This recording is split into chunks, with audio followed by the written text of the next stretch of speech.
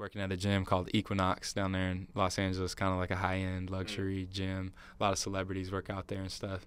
So one day I'm just there, you know, doing my thing as a trainer.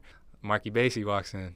I'm mm. like, oh man, still feeling starstruck. Yeah. It's so weird for me to think of it now because he's the homie. Like, yeah. shout out Marc. I saw him a few times at the gym before I actually like went up and was like, yo, I know you. Like we we've met before. Just because it was that like I was in my head type of deal. Yeah. I wasn't in my flow. you weren't flowing. Nah, I wasn't flowing. So I went up to him. I was like, hey man, I don't know if you remember, but you did a show in Pullman like three years ago at Washington State. And he was like, "Oh yeah, yeah, yeah," and I, I thought he was just like, and I showed him a picture of us like at the bar, oh, and he was like, "Oh yeah, I remember that." so we kind of talked a little bit about that night, and then I was like, "Let's let's train. We should train together." He's like, "All right." Sure. So we did a session, and then we started training regularly and everything. And I would slow like pick his brain on music and stuff, and without trying to be like overwhelming, mm-hmm. um, and just you know throwing a little tidbits about, oh yeah, I kind of like I make music too. Da, da, da. I had posted a video of a beat I was making or something on Instagram, and he hit me up and he's like, "Yo, come on tour."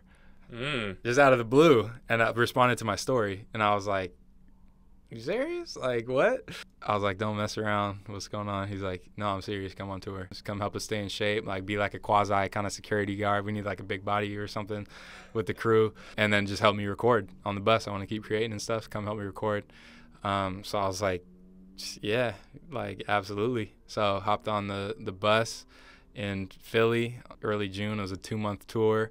Um, I was training him and you know the crew on the on the road and had the chance to help him record some of the music he's worked on with other people, and then as well as um, produce for him. So I actually got to make some music with him that's going to be coming out. Uh, that's crazy, so, man. So yeah, it's kind of wild. It was like people. Some people move to Los Angeles with the the intentions of pursuing music, you know, and don't mm-hmm. don't have an opportunity like I've had in a decade. You know what I mean? So I'm very blessed, very fortunate, and yeah.